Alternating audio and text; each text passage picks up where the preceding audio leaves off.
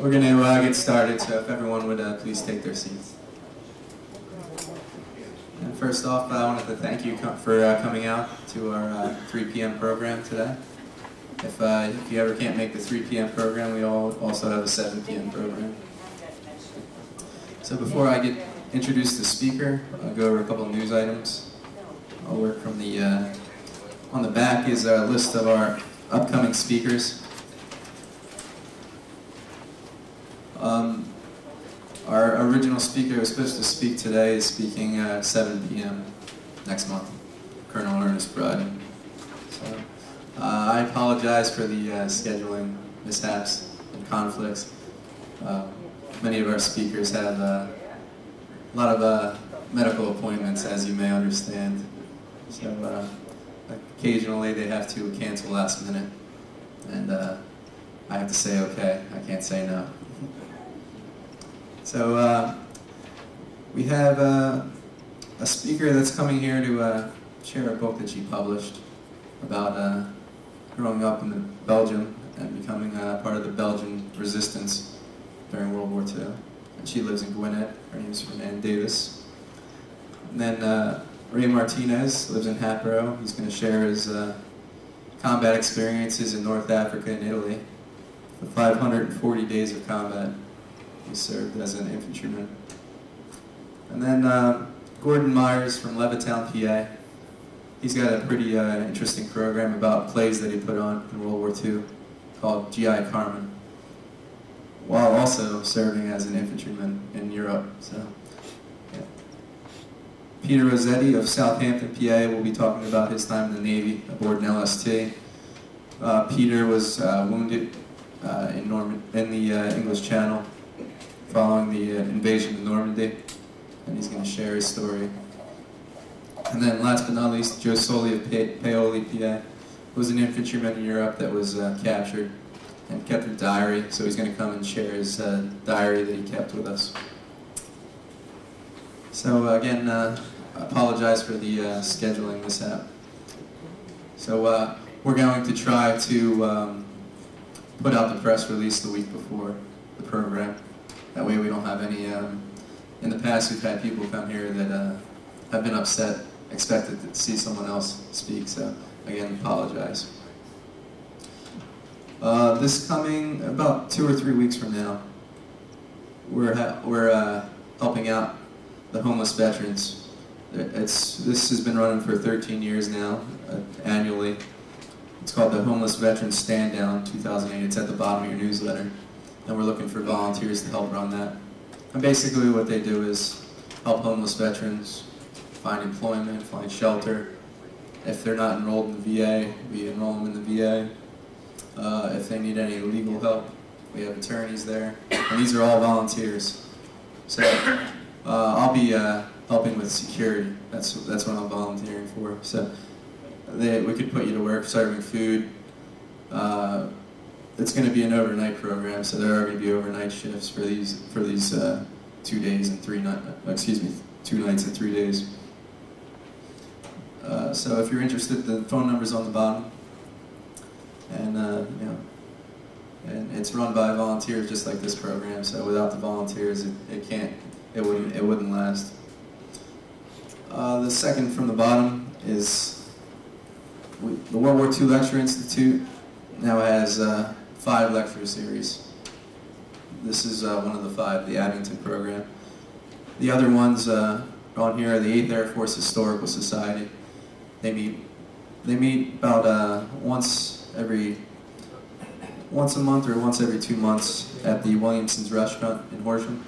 It's a pretty good program. It's a, it's a more of a formal program. They have a, they have a lunch. And the uh, coordinator's number's on there, so if you're interested in participating in that program, they have uh, guest speakers, just like we do here. And it's a pretty nice program. That's why, uh, and uh, Chris Boswell is the reason why we had our 10 year anniversary dinner there at Williamson's restaurant. Uh, Capital, this is uh, probably what, about two hours from here. The Capital Area World War II Roundtable is in Hershey. That, uh, that started because of this program here. the man that runs it's a Vietnam, Vietnam veteran, Bill Jackson. Our Doylestown World War II lecture series is still running the fourth Wednesday of each month. That's probably the closest one to here. Uh, it's in it's at the Bucks County Library in Doylestown. And then uh, our West Chester University lecture series. We do this about twice a year. Uh, World War II program at West Chester University for the students. And besides these lecture series, we also have, uh, if you go up to the next news item, some of the volunteer positions needed. We have a Veterans in the Classroom project. We speak at four high schools in the area, Upper Moreland, Springfield, Abington, and Upper Dublin. So the positions we need here, we also run a children's lecture series down on this floor with, uh, this is the children's floor of the library. So if you're interested in helping out with the children's lecture series, we could use your help. I need help. I think everyone here needs help and phone callers to try to boost our attendance. We, on average, we've had about 46 in the afternoon and 46 in the evening. I think uh, at one time, a couple years ago, this, this room used to be full. And uh, our, our donations, which uh, help keep the program running, uh, have fallen off because of the attendance. So, And uh, other uh, opportunities if you know any, uh, trying to get more, uh, no offense to the older generation, we're trying to get more young kids interested in here, helping out. So kids that are, that can help with our website and help with video, the videotaping. So if you know any uh, kids in the area, please get them involved. And George Stiftinger, who usually reads our invocation, just got out of the hospital. I talked to him. He's he's he's doing okay. He's a little medicated, so he couldn't make it today. But but uh, he'll be back next month. He guaranteed me. So I'm going to read the invocation. We'll stand for the pledge, and then uh, and then we'll uh, introduce our guest speaker. So first, pledge allegiance. I pledge allegiance to the flag of the United States of America and to the republic for which it stands, one nation, under God, indivisible, with liberty and justice for all. And since George uh, is not here today, I did choose a poem. So I chose a uh, poem written from a viewpoint of an Army Air Corps veteran, World War II veteran. I first uh, was introduced to this poem in high school by my English teacher and it's called The uh, Death of a Ball Turret Gunner by Randall Jarrell. It's from my mother's sleep I fell into the state, and I hunched in its belly till my wet fur froze. Six miles from earth, lucid from the dream of life, I woke to black flak and the nightmare fighters. When I died, they washed me out of the turret with a hose. It's a pretty powerful poem. Without any further ado, the war experiences of Arthur Driedger of Blue Bell, Pennsylvania. I have to thank Art. He uh, filled in last minute. And so uh, thank him for coming from Blue Bell.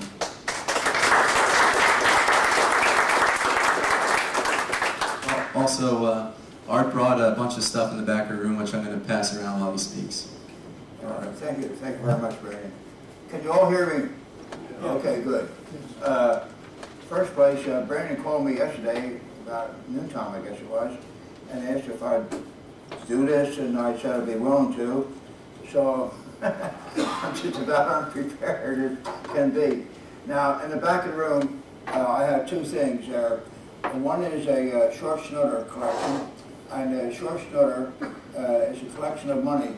Since there was an element of gambling, and you had to fly across the ocean, and I did from uh, California, to the Pacific. I, uh, uh, and there was an element of gambling, and since uh, it was quite common then for people to fly across the ocean, I didn't become a short snorter. However, I did make a collection of money, and here it is here. I had friends in New York that I met in the radio school, and uh, I would send them money from the Pacific, and they in turn would send me money from the, uh, European. Here's some uh, Filipino guerrilla money each island in the Philippines had its own guerrilla army, and uh, they printed their own money. And uh, here it is here. On certain flights, I had uh, Lieutenant Hopkins, Davenport, McGuire, these are famous men. And here's V for Victory, and uh, at any rate, you, you can look through here. Uh, here's uh, other Philippine guerrilla money from the various islands. Here's a Dutch guilder. A Dutch guilder is what we were paid for uh, in New Guinea. It's worth 53 cents. A carton, a carton of cigarettes cost 53 cents, or one guilder. Uh, here's Japanese money, which is very colorful. Uh, uh, at any rate, you can take a look at this. Uh, here is uh, on Valentine's Day. I was on the guerrilla field and we had a flat tire, so we had to stay overnight. And they killed a caribou for us and we had fresh meat. And uh, the people signed our bills here, and uh, and uh, et cetera, et cetera, et cetera. So you can look through this at your leisure at the uh, end of the period. Uh, a lady at church, she kept she kept a, a, uh, a record of uh, World War II uh, cartoon, and uh, I have them here. Uh, a lot of these you don't understand because you have to bring a certain amount of knowledge to a cartoon to understand it. If you don't know who John L. Lewis was, you, you missed out half of these. But at any rate, uh, some of them are pretty good. And, uh, and uh, here's a Ford Museum. And, uh, and, uh, so I'll pass these around. And uh, the, the, uh, one, there's a couple in here that are very good. I don't know who they are right now. But the point is, there's one, that- it's December 6, 1941, the day before Pearl Harbor. And it shows you uh, uh, uh, Japan going invading Thailand or Siam, and uh, if uh, if they invade, then China, America, the Dutch, and the British will fall on top of them and crush them. And you know who got crushed the next day. So uh, there's the cartoons back there. You can look at them.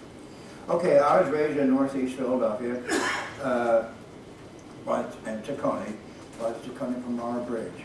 I remember when they built the bridge, my father used to go down there Sunday afternoon to make sure they were doing it right. Uh, at any rate, uh, so uh, I was raised in Northeast uh, Philadelphia.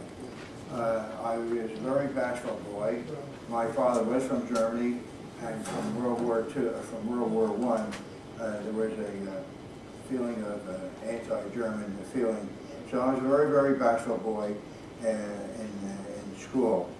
Um, as the, here's a picture of my house in Tacony, and my mother and my sisters and my father there. Um, at any rate, uh, during the 1930s, uh, there was a feeling, uh, okay, you can pass them out. There was a feeling that we had made a mistake by getting involved in World War uh, One.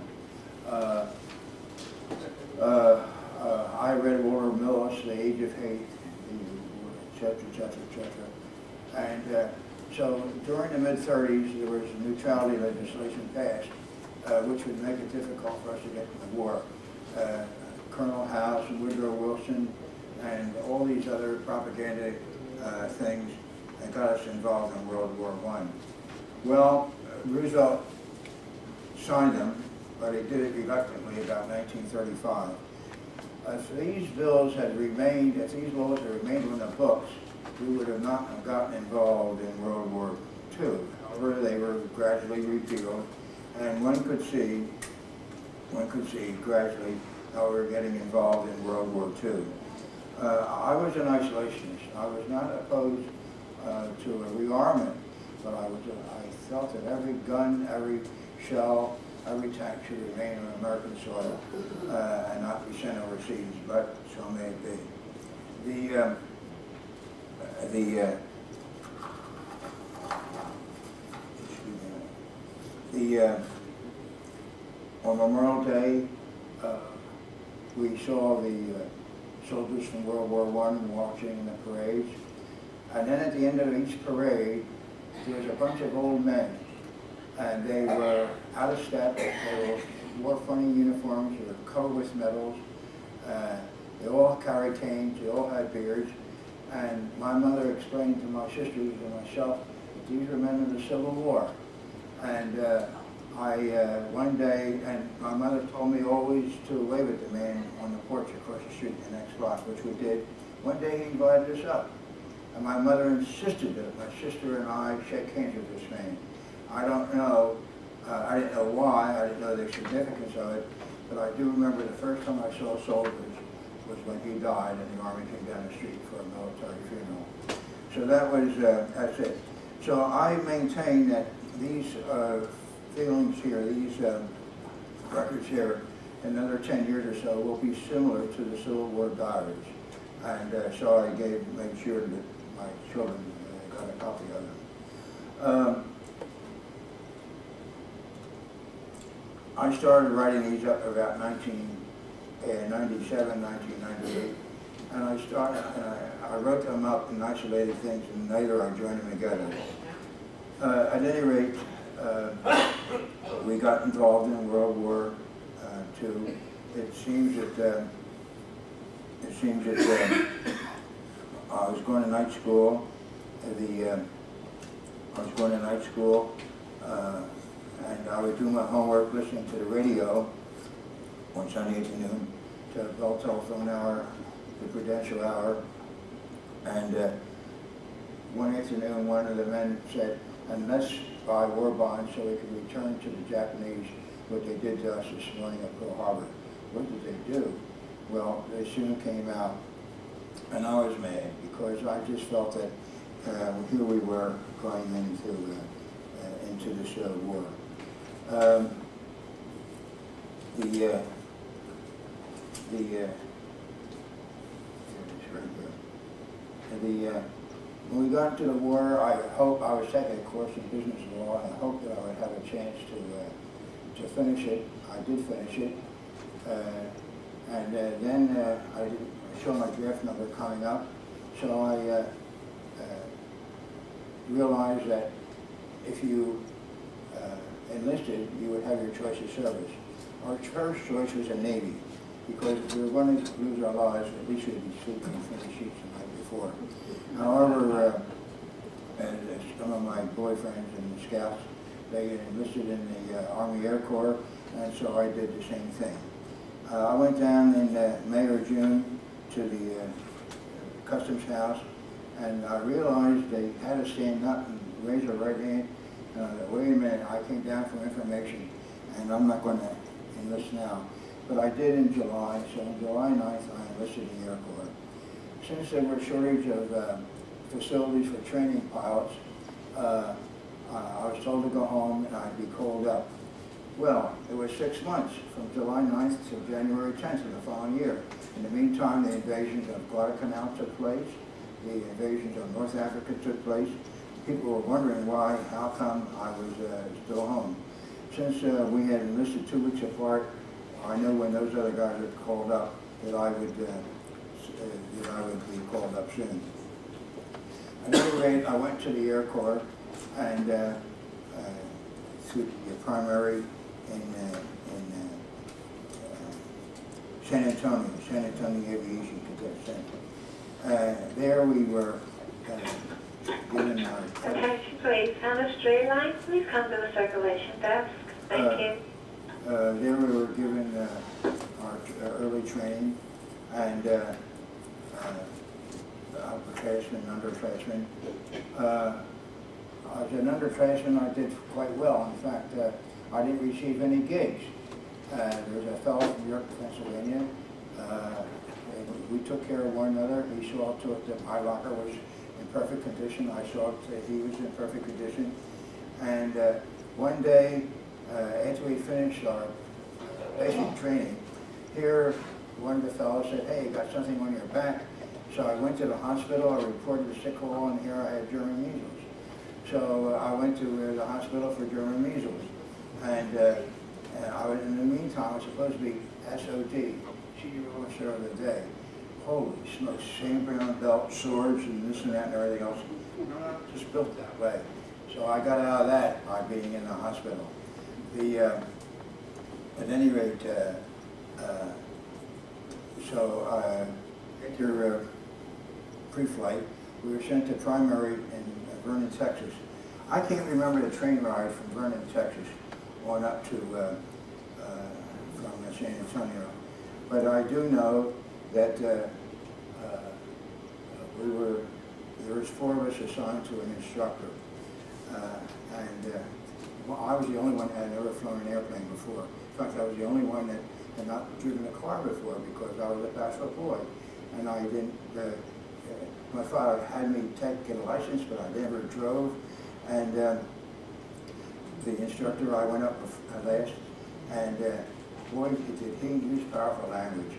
Of course, he always said, uh, he didn't curse the pilot out, he cursed the plane out. Of course, the plane understood it, but that said. But boy, that language was uh, pretty, pretty, pretty severe. Uh, at any rate, I did pretty good. Uh, I, uh, there was four of us, he was supposed to wash out two, and finish two. And so every instructor was supposed to wash out two, and finish two. Well, first thing you know, my, two of my classmates uh, washed out, and Dubs and I were supposed to finish. I couldn't believe it. So uh, I, uh, George Bradley, in the meantime, an old Boy Scout buddy, he had gone into a spin and he failed to pull out and he died. And I thought I could never let my parents go through what he went through, and uh, what their parents went through, his parents went through. Uh, we hitchhiked all over, and, and that was just it. Um, the uh, uh, the uh, at any rate, he came in one morning and he said, "I got some bad news for you." He says, "I'm supposed to teach you night flying, and uh, uh, we had uh, flares last night, and I'm colorblind, so I had to hand you over to other instructors." Well, 71% of our flares washed out, so I'm 69%. So I'm the third man when the man who already washed out his two. Well, guess who's going to get the net?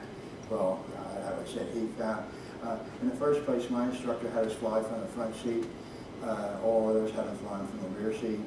Uh, and uh, he found an excuse for me to take a test flight. I made a navigation error, so I washed out, and that was it. Uh, my uh, feelings of inferiority then showed up. Uh, here I was the only one that watched out that was supposed to go to navigation school. Uh, my mathematical skills are about six feet underground, but I did pretty good in vectors. And, uh, and they had to change my order. So here my chance to become a navigator and an officer and lead a good life, I just washed away. So in the meantime, I continued to go to classes. Everyone was surprised. I was supposed to stay in the back, in the barracks.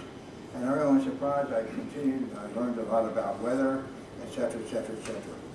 Uh, I, uh, I uh, did my spins, my stalls. Uh, I, I, frankly, I had about 33 hours of uh, flying time. I have them recorded right here, right here. Well, we fellows that were washed out were sent 50 miles to Wichita Falls, Sheppard Field. And there they had a cow pasture that didn't see a speck of dirt. Uh, it was nothing but dust. It was, that was it. The, uh, we uh, washed out gadgets, or uh, cadets were reduced from $75 a month down to $50 uh, a month.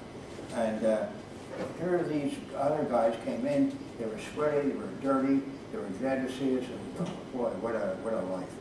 Uh, at any rate, uh, the, uh, the cadets were a grade higher. We marched better, we marched, drilled better than the typical person, and the result is we were given speed up basic training. Instead of taking 60 or 70 days, we did it in 30 days.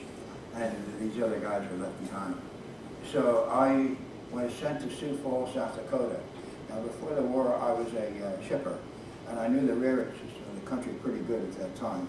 And so I knew from the railroads that we were taking, they were heading for Sioux Falls, South Dakota, uh, which was a uh, five months, five and a half months um, radio school. Uh, I had a thorn in my, from a cactus plant in my spine on the way up, and so I reported on sick call, and uh, I was put in the hospital right away.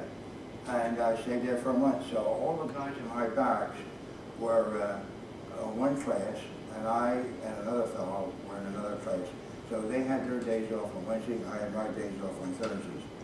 Um, the uh, the uh, Sioux Falls was a nice town. I uh, learned how to bake there, a pineapple upside down cake, and I had a very, very nice uh, time in Sioux Falls. We learned about radio operating. Uh, we had code lessons. Uh, I think you had to take uh, 18 words per minute to pass. I was just about up to uh, 28 words per minute when, uh, when you had to use a typewriter and uh, Overseas, he operated at about 12 words per minute. A word is five characters. Diddy dum dum diddy dum dum. You learned all about the uh, procedures, et cetera, et cetera, et cetera. Then I was sent to Grenada, Mississippi, and uh, I went home on a delayed uh, route, and uh, from uh, Sioux Falls to Grenada, Mississippi. There were 550 members of our radio class, and I thought, boy, if Hitler ever knew uh, the number of people that were, uh, that were, uh, ever knew the number of people that were running against him, he would certainly give up. Um, I might say that in pilot training, we were marched across the road in a drizzling storm, and there was a slick Texas mud there. And we were stood up in a big field. We were given a speech by an officer. He said, uh, he, he gave us words of encouragement, we're to be proud, and this and that and everything else, sing a lot of songs and everything else, spirit. And he said, I want you to look to a man, he said, uh, I stood where you did out 10 years ago. He says, uh, I'm giving the same speech that the uh, officer gave me. And he said, I want you to look to the man to the right, to the left, to the front, to the rear. And we did. He said, one of those men will be dead in one year from an operational accident, even before you see combat. He said, now if any of you want to quit, just pull over to the side. Well, I think everybody in this nation, uh, in the formation, thousands of us, wanted to pull over to the side, but we were afraid to do so. So he said, okay, from now on, uh, your, your, the articles of war uh, are in effect, and uh, you're in, in the pilot training. Well, so may it be. Uh, I feel as if it was one of the defeats of my life when I failed uh, pilot training. However, uh, when I find that, you know, 71% of the class washed out, and I was number 69%, why, uh, I can't complain. So I went overseas as a radio operator. Now, uh, our class had 550 in there. Every year, every week, they had a graduating class, 350, 400, 500. Was extra large. Most of the time, the men were going to Kingman, Arizona, where they would go to gunnery school, learn to shoot machine guns from airplanes, and then they, from there they would go home on the furlough and go overseas to Germany, uh, where they were bombing Germany. And uh, 20, 30, 40, 50, 60 planes were being shot down every day over Germany. So we were not optimistic at all. Lo and behold, of the class of 550, 50 of us were sent to for uh, uh, air transport command ATC. ATC was desirable because you flew from the States to overseas. Troop carrier was second desirable uh, because you flew in the theater of operation overseas. Everyone laughed at us because we had no self-sealing tanks, we had no machine guns. I was happy because I'm not an aggressive man. Incidentally, I owe a lot to you people in here who were in the war that, uh, that did have to go into combat. I came home in combat fatigue, but it was not a, uh, a behavioral problem. I came home because of the number of hours I flew overseas, 1,200 hours, and I had over 1,200 hours overseas. So I came home with what they call CF, or combat fatigue. Um, at any rate, uh, the, uh, so we were sent to uh, uh, uh, Grenada, Mississippi. We were down there 10 days and we were sent to Sedalia, Missouri. As we, on, uh, we flew up. And as we flew up, the uh, C-47s, we lowered to the ground and we stopped the cars underneath us. They were afraid to pass underneath us. Uh, we landed, et cetera, et cetera, et cetera. Uh, well, Sedalia, Missouri, uh, we had a lot of experiences of men overseas that have been shot down, they escaped through the underground, they first appeared in these mountains in uh, Spain, and then been rescued by the British uh, was all some, all all secrets, but uh, from Spain, they were rescued by the British boats off the coast of Spain. Uh, Of course, it usually uh, turned into a bull session.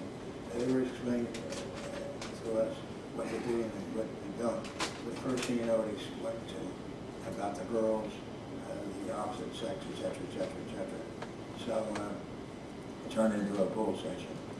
Uh, Well, uh, we finished there in uh, June, and uh, there was a big dispute as to whether we should be able to go home or not. Well, we were told we had a, a, a uh, furlough in uh, January.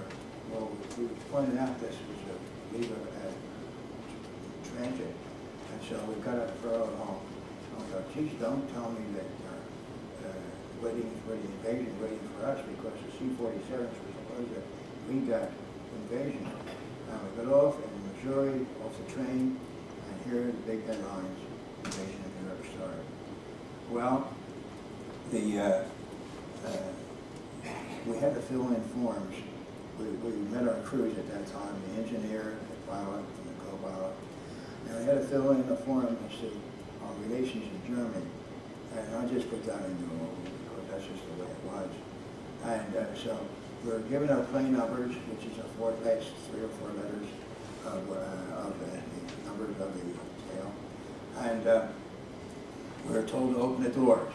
If there was four, if there was uh, four uh, belly tanks, you were going to Europe.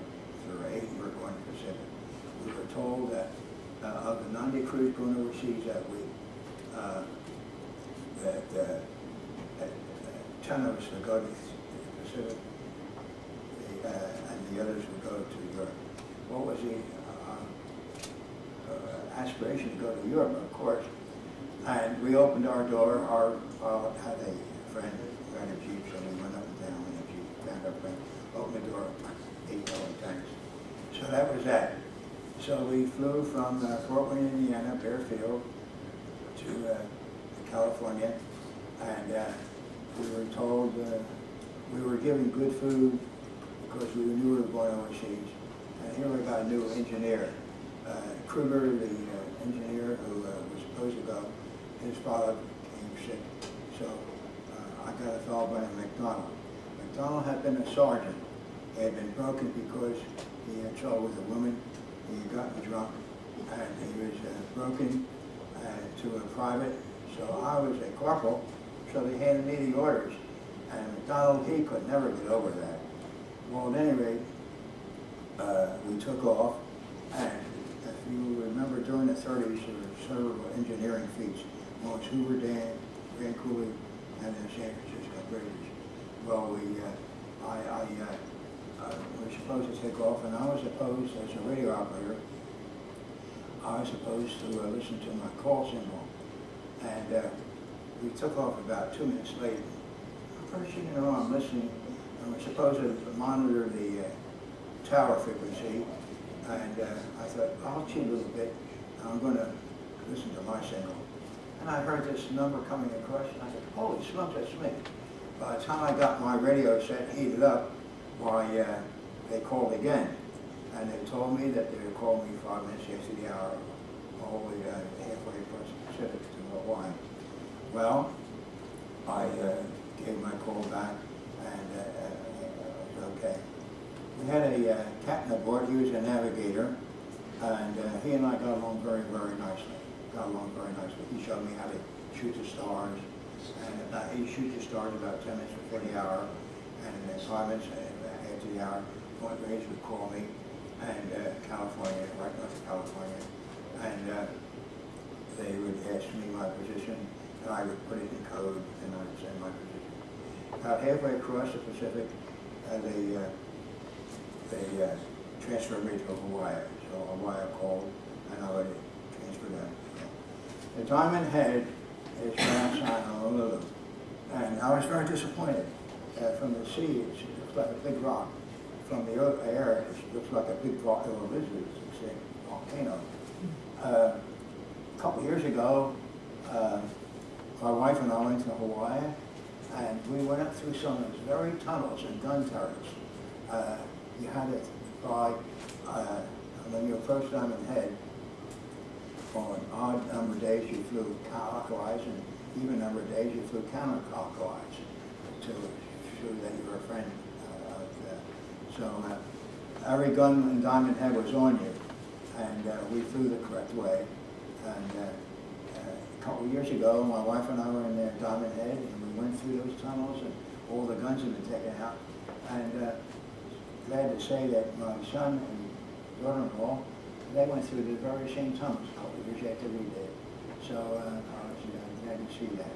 Incidentally, my son and daughter, they just came back from the Grand Canyon, Mount Whitney, and, uh,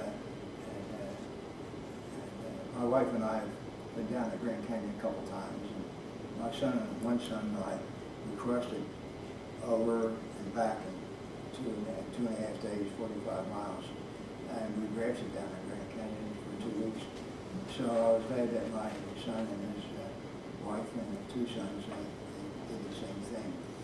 Well, at any rate, uh, here uh, we no sooner were taking off from San Francisco, um, and I was looking over the bridges through the clouds when the uh, pilot said to the engineer, "Go back and make sure everything's okay." So here he came running up and said, "We have a leak." Here from the forward gas tank, uh, there was a spouting about 18 inches high and uh, gas shooting up. Well, we didn't know what to do uh, to uh, circle out over the ocean at full rich mixture for umpteen hours using the gas. We to do that. So we went to a lower altitude and we used all the gas in that tank, switched the valves, turned the valves, and uh, we, uh, first thing you know, the fountain went down to just a couple inches, and that was it. Uh, when we, that was fortunate really, because when we landed in Honolulu, I was given strict orders not to use any radio equipment, of course. Um, the, uh, we landed in Honolulu, and of course, uh, we spent a couple extra days there getting a new gas tank. From Honolulu, we went down to uh, Christmas Island, and I had another son who, uh, a couple of years ago, he uh, was studying sulfur in the atmosphere. He went in Christmas Island, et cetera, et cetera, et cetera. The, we no sooner got taken off from Honolulu when uh, the pilot go back and check the gas tank. Here we had a leak, but uh, a wrench uh, tightened it up and the leak stopped. That was it.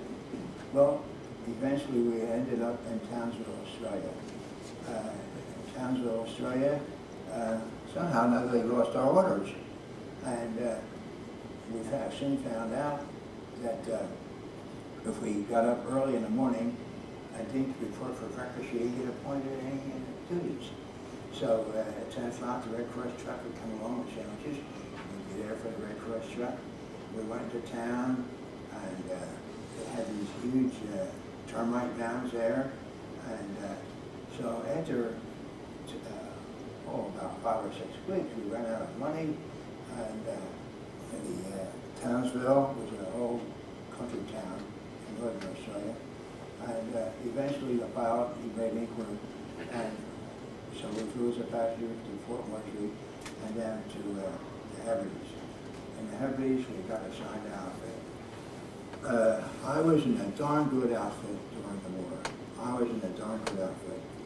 Uh, the guys had been overseas 18 months, they were sick and tired of it, and they welcomed McDonald and myself as fellow brothers.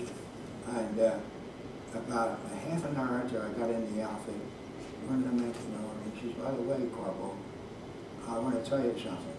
You don't steal. I said, boy, that's great says, you can leave your wallet underneath your pillow. Everyone knows when you go to the shower, your wallet is under the pillow, and you'll find it there when you come back. So that was great news. I also found out that we had an excellent ground crews. Uh, I was an enlisted man, I was entitled to wear wings because I was an airman. And I soon found out that we had such excellent crewmen, ground crewmen, that every, all the enlisted men took their wings off, just so they didn't embarrass the uh, ground crewmen. And so I took mine off. Uh, McDonald, he uh, left his on, he was known as Wings McDonald, and, and that was it. But uh, I took mine off, I put them on again when I went to a rest leave in Australia, uh, et cetera, et cetera. But up in the islands, I took mine off. Well, I kept a record of uh, all my flights. The unfortunate is, I didn't put down enough, uh, uh, I didn't put down enough information about each one. Meaning the Thursday, our outfit was known as the Thursday Thirteenth, and our symbol was a, an old hairy ape, an old boulder. And you know what uh, old boulders think of? Women. And uh, so there's it. And of course, there's the old boulder uh, in operation. And, oh, I got an air medal. Uh, when we flew, we fly from, I'll put it this way, in a pursuit plane, a, a fighter plane goes up, does combat, lands at the same base. A bomber goes out, drops its bombs, lands at the same base. We were different, C-47s, um, cargo, C-47, the old DC-3. Uh, we carried about five tons, five and a half tons, maybe six tons of freight. Very, very small compared to today. But when we would fly, we had to go out for 50 hours, uh, uh, 50 to 60 hours. So we were from A to B to C to D to E to F. And that meant we got no mail. That meant that we had to eat on the plane, sleep on the plane, and it would take five or six, seven times, seven or eight days to go out and, uh, and uh, get our 50 to 60 hours on. The 60 hours, 50 to 60 hours, we come back to base. Uh, we were given a day off, and then the uh, plane would be inspected, and then the other crew would take it out for 50 or 60 hours. And then they would fly 50, 60 hours. In the meantime, we just sat around and got fat and uh, got lazy, and uh, that was it. And uh, then we, we would we, we knew, about when we would go out because we uh, every night there was a uh, on the bulletin board you looked over uh, uh, who was going to fly the next day, and you knew when, when your plane was in and it was being inspected and the inspection was over, uh, you knew that you were going to go out. So that was it. I had many interesting uh, experiences overseas. I saw volcanoes. I saw. I, I learned a lot from uh, that you only find in a Geographic magazine. Uh, I, I learned a lot. I saw a lot of volcanoes. Uh, I saw the tides in the Pacific. I was on Australia, uh, Sydney, Australia on the south, and uh, I went up through the 13th Air Force, which in the Solomons, Guadalcanal, Admiralty, uh, New Guinea, then to Morotai, and then to uh, the Philippine Islands. And I flew on every, I was on every island in the Philippines except Negros. And I flew over Negros many times. Uh, my next, my next and last flight, oh boy, uh, when they dropped the atomic bomb, uh, we were happy. In the Pacific, we were we had the slogan of uh, Golden Gate 48, Red Line 59 and uh, 49, because we had been in depression during uh, 30s, and everyone expected a return of the depression, and so we were very very pessimistic in uh, the city. When I came home, I wrote a lot of letters to my parents, and I was so disgusted with them. Unfortunately, I threw most of them away. A big mistake. Uh, my mother kept them all, uh, and uh, a big mistake. I threw them, thrown them away. I still have a few of them left, um, and uh, it's in uh, my book. But the uh,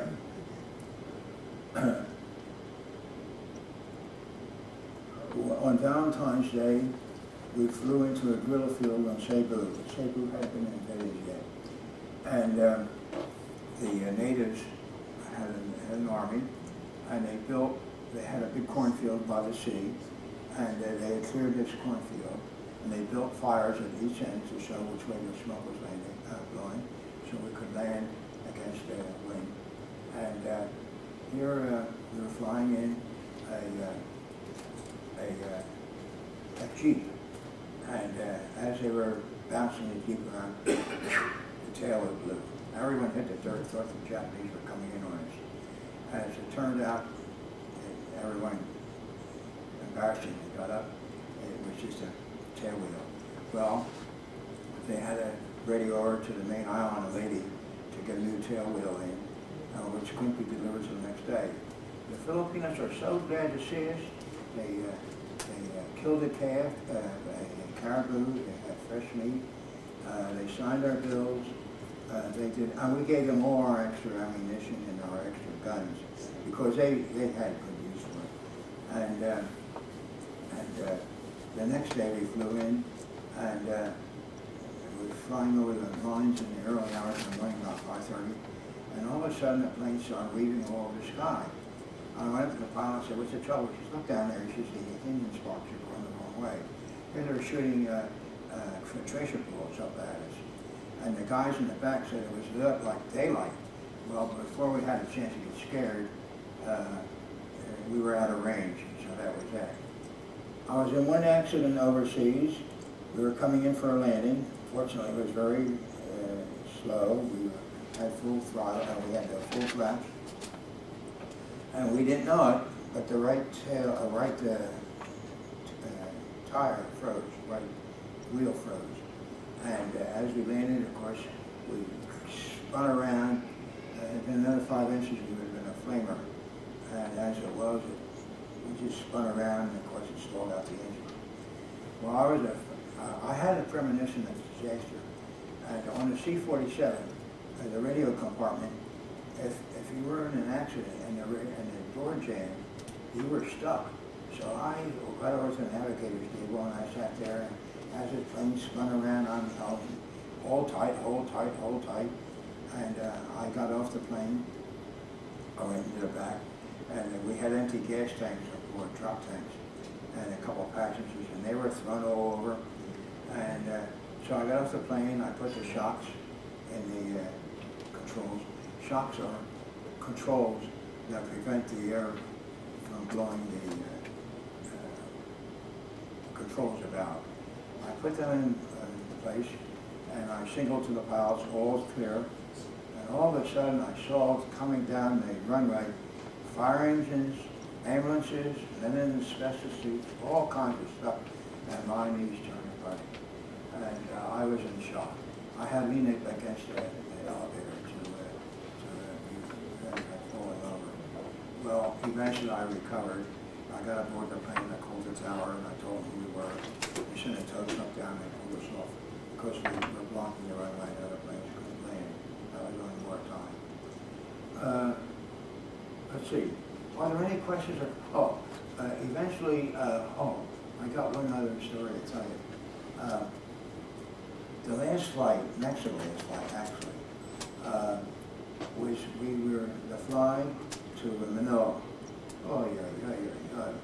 We weren't supposed to come back until we put fifty or sixty hours on the plane. Uh, Nielsen Field was on the south end of uh, Manila. Clark Field was about fifty miles to the north. And, uh, here the great big C-54s were coming in with prisoners of war from Japan. And they were landing at Clark Field, and then they were emaciated, they were suffering from dysentery. Uh, they were very quiet, they were very, very humble. And uh, we would put them on our smaller planes and take them to Nielsen, 50 miles away, uh, 30 minutes. And if we did one load a day, uh, how the heck you going to get 40, 50 hours on? So uh, sometimes we had two or three flights a day. So finally, Lieutenant Hand came in and says, we got great news for you. We're flying an MP outfit to uh, Okinawa. Well, uh, finally we're getting some time on it. We flew to Okinawa, and he came back with good news. We're flying them on to Japan the next day. So we flew them into Japan, and uh, boy, oh boy, it had been the aspiration of every airman in the Pacific to flush a toilet over the Emperor's Palace. But, uh, you know, uh, the, uh, when the time came, we, we missed a view. So we saw the Emperor's Palace over there, and we dove down, went right over the moat, right over the wall, and there's the Emperor's Palace about 100, 150 feet away. With two heavy engines, he knew we had arrived. Well, we followed the, uh, uh, the train tracks out to the airport. And we're supposed to unload the MPs, uh, military police, take off immediately. Are you kidding? So we put our plane in a position and then disappeared. So the next plane blocked us in, next plane blocked them in, next plane blocked them in. And by the time we got back a couple hours later, uh, we, uh, uh, it was too late to leave. So we thought, well, we're going to Tokyo. And uh, we uh, got behind, behind the two sergeants, uh, the other sergeant and I got between it, behind the two lieutenants. We thought we were going to be stopped, and uh, but they were saluted, and we walked right behind them, right across the street to the railroad station. And uh, we counted uh, the railroad stations into Tokyo, it was 18 of them. And uh, there we uh, ordered a meal at the uh, Imperial Hotel, which Frank, built by Frank Lloyd Wright after the earthquake of 1927. We went to a department store, which was partly bombed out, and had great big Japanese paratroop signs uh, in Siberia. Uh, everything was made of glass, wood, uh, there was nothing, or uh, glass or wood, not of paper, nothing made of metal. And um, uh, we, we had a good time. Well, on the time we left Tokyo, evening, oh, the nearest thing, the highest thing in the burnout area of Kentucky were states. You could tell where all the, uh, the uh, offices, uh, the stores were, by the stakes, they're about as high as this thing right here. And you- here's a safe, here's a safe, and it was just uh, burned all burned out. Well, we, uh, we, uh, we, uh, decided to uh, go back. We didn't want to be in Tokyo at dark. We back to the railroad station, it was halfway bombed out. And here there was no train going where we came. So finally Japanese told us of another place, about a mile from where we were going. So we hopped that train. And we got off and we were going to walk across the airfield about a mile away. The heavens opened up. Jeep came along, we hopped on the Jeep and got up on our plane or something like that which was often the case, we often stopped on our planes. Um, The, uh, the, uh, went back to, Okinawa. oh, we went down, kidding? Instead of going back to Okinawa directly, we went down to Kure, the big Japanese naval base, saw the Japanese fleet sunk. Then we flew over Hiroshima, and we came in from the north, and uh, on this side of the hill, it was all vegetation. On this side of the hill, on Hiroshima side, it was all burned out. Railroad tracks went around. And uh, several Hiroshima several times, and uh, several Hiroshima several times. Uh, Then we went down to Kyushu, the southern island, uh, gassed up, and then flew down to uh, Okinawa. Only to be told, hey, take another of Van Pease back. So I went to make, made a second trip to, uh, and uh, this time we decided to take another ride into Tokyo. But it was illegal, so we couldn't very well go from that airport. So we flew to another airport and stopped a gun and pilot a wingtip. Well, we flew with a, sheared off the broken wingtip, flew to another airport uh, a few miles away. Well, uh, Spec C-47 had a wingtip, and uh, we got that changed. And uh, all in all, we, we went to Kentucky, but we never saw it as much as uh, my wife was, uh, my uh, daughter was, my daughter's a, daughter's a, one of them was a geologist in the state of Washington. She was in Japan uh, about December, November, December. She was in China about, uh, about a month uh, after the earthquake in China, and she saw that fault there uh, in China.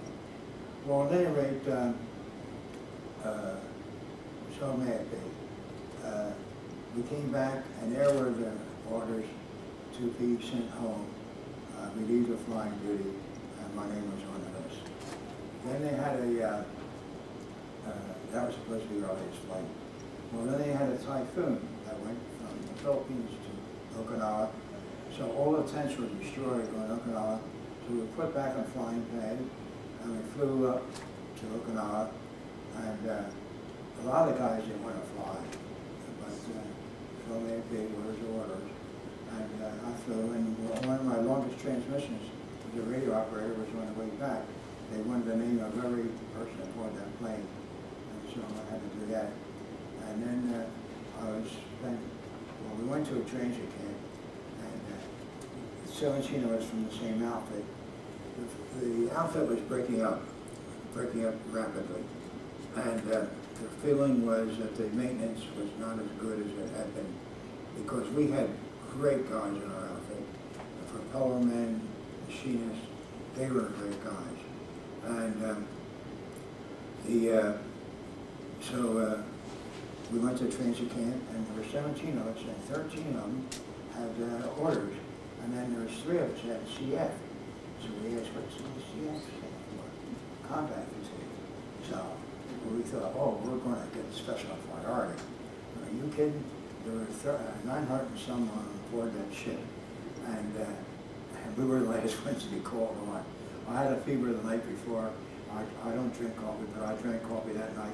My air mattress, had a sweat about 3 o'clock in the morning, but I was going to make that shift.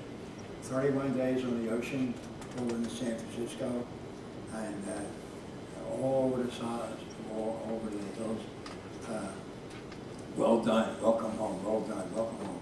And uh, then we were sent to uh, Fort and uh, given uh, all the food we want, and all the milk we want, all the fresh fruits and vegetables we wanted.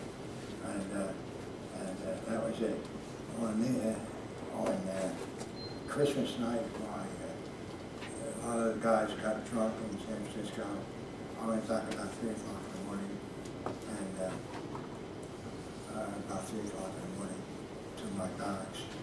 And uh, ladies were coming down uh, about ten o'clock in the morning with uh, gifts for the soldiers. I got the gift at foreign head stationery, and uh, that was it. I got aboard a troop train, and uh, I got home on, uh, I got into, uh, oh, on that, about eleven thirty, uh, they pulled the Chicago Freight Yard on New Year's Eve. And the question is, how soon is the train going to pull out? Well, guys got off the train, and they, know, ready to get back on straight further and further. At uh, twelve o'clock midnight, I went on guard duty, and the uh, officer of the day on and says, Sergeant, he says, you got fresh eggs? I says, yes, sir. He says, you just fasten it up with you. So I uh, fastened up some uh, fried eggs, and uh, some of the guys, we didn't pull out until about four o'clock, three or four o'clock in the morning. I finally got home on the fourth of uh, January. My father was suffering from a hernia operation, uh, left home, and uh, when he was in bed, he was in bed, uh, with a cold. I said, Pop, you've been in bed these three years? And uh, they were all, it was a nice time. Well, I decided to go to college, and I became a teacher, and that's it. Uh, I, these people that served in World War II were not gods. They should not be worshipped, but they should never be forgotten. And, uh, and that's just it. Uh, they never a plastic bag, ballpoint pen, cost thirty-two dollars at the time, that was in that money. When I came home, I went to the department store from Temple, and the guy was selling ballpoint pens for thirteen dollars, a bargain. And uh, now they're giving them away. But uh, they never saw a plastic bag, they, they never saw a computer, they never saw uh, an oven, you know. So these people, they really got cheated. They, would men ever really get to the moon? Yes, we figured about three, four hundred years. Uh, and you know what, what's that time. Uh, we used to bicycle all over. Uh, when I was a kid, I bicycled in my senior year from uh, Philadelphia to Rhode Island and back. I slept in dump trucks and haylofts and spent five fifty. Uh, but uh, so may it be. Well, listen, I've talked enough. How about questions? Uh, Who has questions? Yes. Okay, the war, after the war, I mean, Japan surrendered. Right. So all this you were talking about, about back and forth, happened after the surrender. All right, what, what was it like walking around in Japan? There were three, there were three kinds of people on the train, uh, going from the airport to, uh, in, in Tokyo. There was those who were resentful. In other words, they were sorry they lost the war. Another kind, uh, should we say, were bootlickers. They, they do anything for you. Another kind were neutral. They would be decent to you. If you asked them a question, they'd give you a straight answer, but they didn't lick your boots uh, or anything like that. But uh, I know I made eyes at some of the girls on board that train, and they, you know, I made, you know. I was uh, 24 years of age, and um, and uh, but that's special. I asked one man what he did before the war. He said he had an automobile agency, and he hoped to get it back. Uh, okay, uh, so. Uh, You didn't feel, uh, did you, you didn't feel uh, insecure, I mean, you didn't Well, listen, fear? uh, after, after uh, I went to, it was in Tokyo, I got a letter from my mother, and she said, don't trust the Japanese, very, very, and I had been in Tokyo, you know what I mean? And uh, she says, don't trust the Japanese, they're very spiteful, this and that, you know, so you can't trust, you know? And uh, uh, basically, there's the three kinds of the people that I met. Uh, Those who were resentful, those who were neutral, and those who would do anything to help you out. Okay, sir? Yeah. Any other questions? Yes, sir? What type of training aircraft did you learn in? Uh, I was in the PT-19A.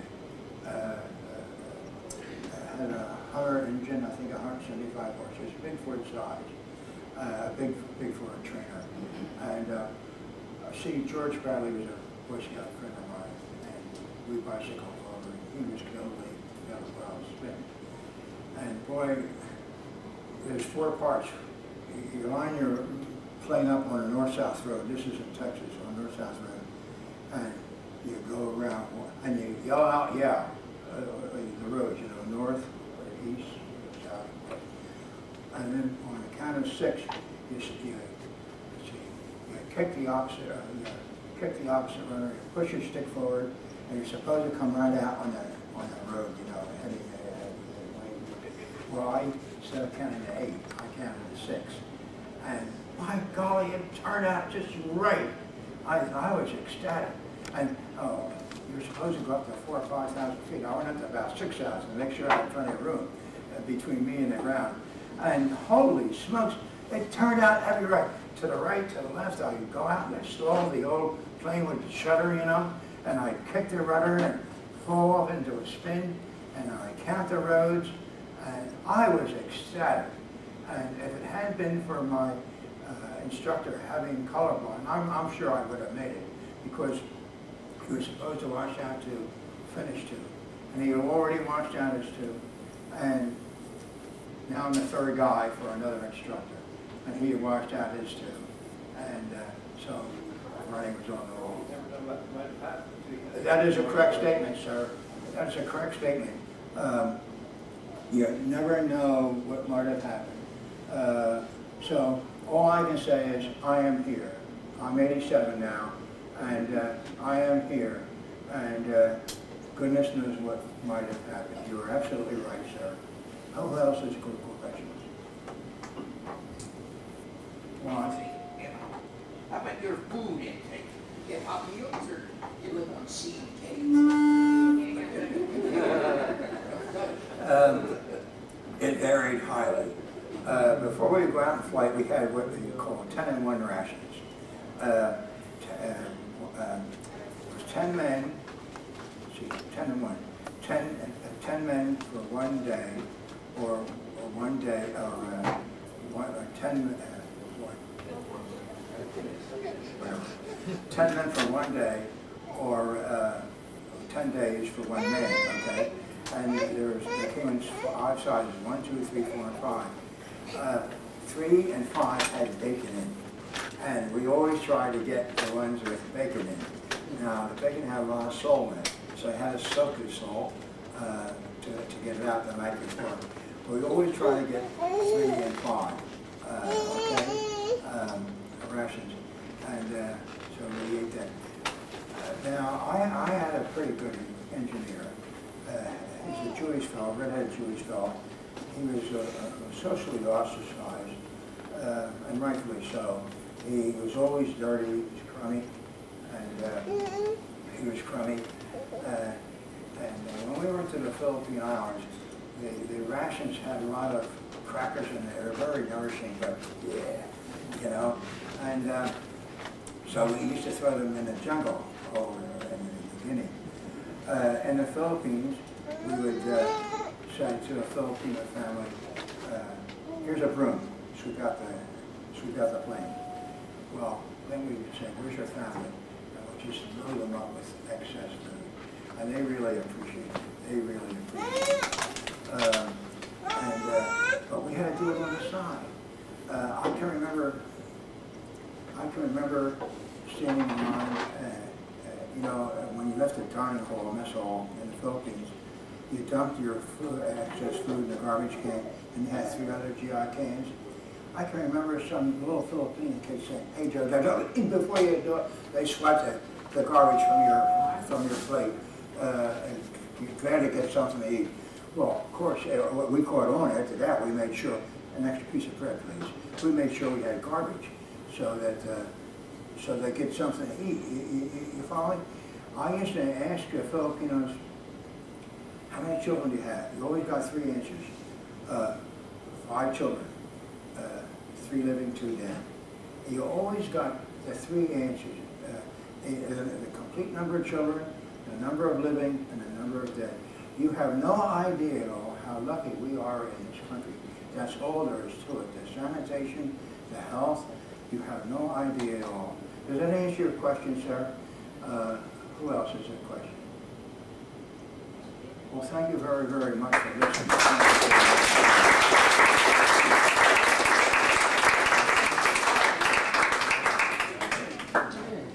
Thank you everyone for coming. Uh,